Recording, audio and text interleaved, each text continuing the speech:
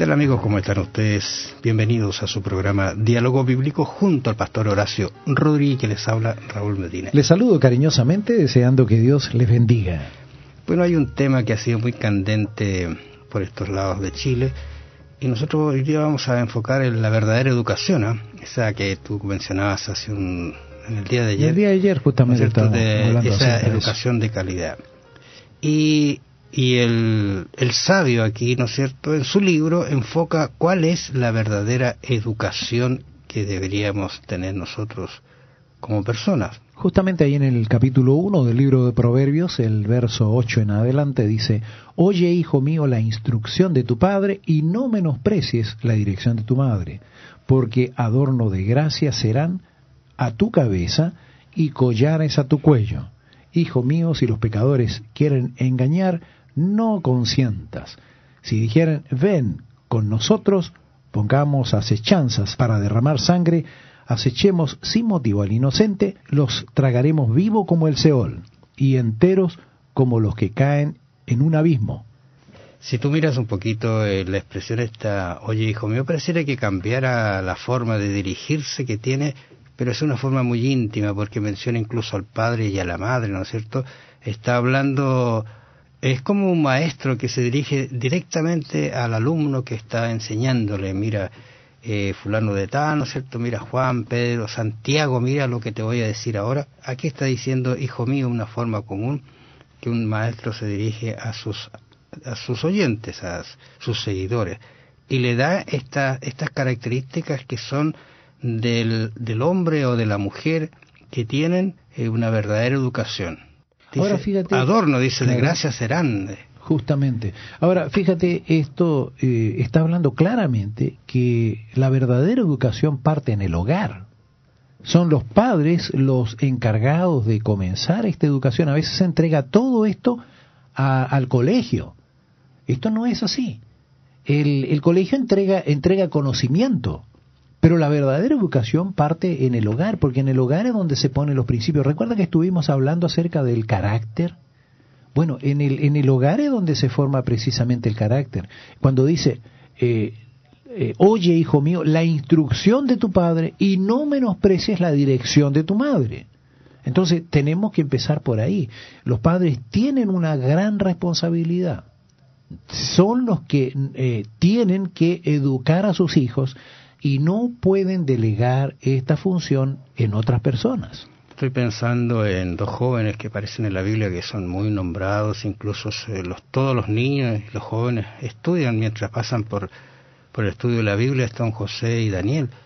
Estos hombres eh, que llegaron a ser grandes hombres delante de Dios tuvieron una educación básica y eso los mantuvo en una corriente, en un ambiente, en un estado difícil para ellos, los mantuvo dentro de, la, de los lineamientos de la verdadera educación. Ahora, ¿qué me dices tú del caso de, de Moisés?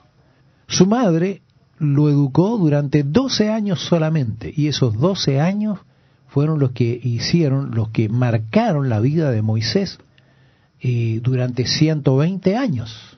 Claro, incluso Dios tuvo que usarse algunos elementos especiales para eh, cambiar un poquito la orientación que él estaba teniendo, porque de improviso el hombre eh, se cree con capacidad de hacer cosas para enderezar lo torcido, ¿no es cierto?, cuando es Dios el que tiene que hacerlo, y comete los errores, y Dios lo mantuvo, que sé yo, allí 40 años en el desierto. O sea, la verdadera educación no es una educación fácil, sino es una educación que tiene un, trasfondo un poquito más complicado. Sí, pero... Porque tiene que sujetarse a normas que a veces nosotros en mismo eh, como adultos no las tenemos y queremos imponérselas quizá a nuestros hijos. Pero fíjate, si él, si, si Moisés, si Moisés hubiese tomado el camino fácil, creo que eh, era, era, el que el que mostraba mayor conveniencia. Él en ese momento era hijo de la hija de Faraón. Él fue educado en el palacio, seguramente con servidumbre, vivía una vida regalada. Y sin embargo, su madre le había, había puesto en su mente, en su corazón, lo que él realmente era. Y él se identificó con los esclavos. Él podría haberse olvidado de los esclavos. Podía haber dejado atrás eso y haberse dedicado a una vida, a una vida de placeres y, eh, en fin, lo que se vivía ahí en el palacio. Sin embargo, él se identificó y fue por eso que cometió el error. Él pensó que eh, lo que estaba haciendo era bueno y cuando le quitó la vida al egipcio que estaba, eh, estaba castigando a un hebreo, eh, él pensó que, que, eso era lo que correspondía. Pero se dio cuenta que eso era insensato en realidad, porque la misma vida le enseñó que era insensato. Ahora, hay una palabra que aparece acá, no consienta. ¿eh? Al leerlo rápidamente el texto dice, no consientas hacer esto, pero resulta que aquí entra este concepto de voluntad de la persona, porque en algún momento a ti se te presentan dos caminos, Ahí hay que, hacer una elección. Y hay que hacer una elección. Entonces esa voluntad férrea que está tomada de la verdadera educación que entrega la palabra de Dios, que entrega el Señor, nos hace tomar caminos que no son torcidos, porque a veces este hecho de, de aceptar incluso es tan peligroso que nuestra voluntad, si no está aferrada a Dios, pueden hasta los demonios entrar y hacernos seres humanos muy desdichados en nuestro actuar, en nuestro vivir, y llevarnos a, cometer situaciones muy, muy extrañas. Estaba leyendo un libro que trata la problemática de un joven en realidad, y este joven, eh, bueno, va a tener una mirada, ¿no es cierto?, de Dios muy distinta. Incluso en su juventud empezó a renegar contra Dios una serie de cosas, pero después analiza su vida y dice cómo Dios lo libró de algunas cosas, de algunas situaciones. Incluso él estaba en una reunión de amigos, ¿no es cierto?, haciendo cosas que hacen los jóvenes, es muy impropia y en algún momento dice pasa una señorita, entonces empezaron todos a tratar de hacer algo con ella y él en ese instante quiso eh, impedir eso.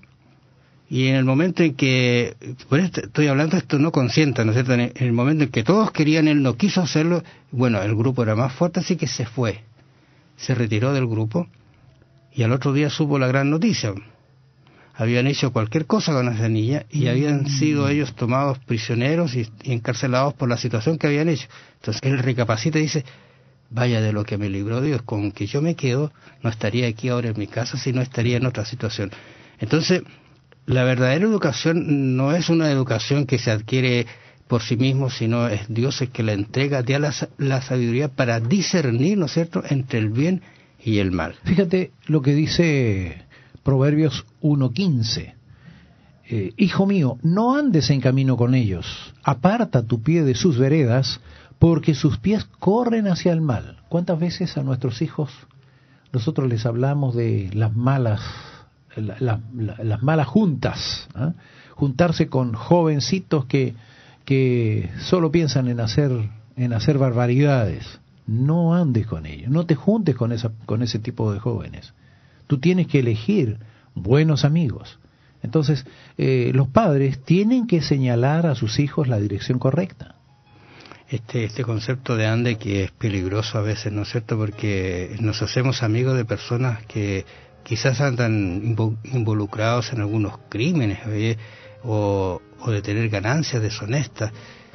Y eso, el solo hecho de estar de estar eh, con ellos ya comienza a mancharnos y a traspasarnos algunas de estas cosas. Por eso que este, este de los pies es muy decidor para poder eh, tener una real educación. Amables oyentes, ha sido grato estar con ustedes en este día. Que el Señor los bendiga. Nos vamos a encontrar mañana en una nueva audición de su programa Diálogo Bíblico. ¿Cómo podemos resistir las tentaciones que la cultura, la sociedad, los amigos y los familiares puedan arrojar en nuestro camino? Piénselo. Que el Señor le bendiga. Será hasta mañana.